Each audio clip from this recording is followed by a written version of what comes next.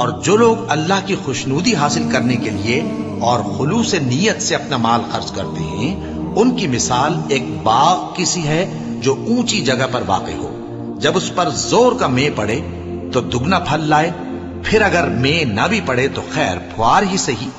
और अल्लाह तुम्हारे कामों को देख रहा है। भला तुम में कोई ये चाहता है कि उसका खजूरों और अंगूरों का बाग हो जिसमें नहरें बह रही हों और उसमें उसके लिए हर किस्म के मेवे मौजूद हों और उसे बुढ़ापा आ पकड़े।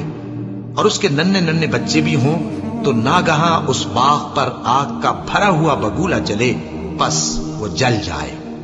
इस तरह अल्लाह तुमसे अपनी आयतें खोल खोल कर बयान फरमाता है, ताकि तुम सोचो और समझो।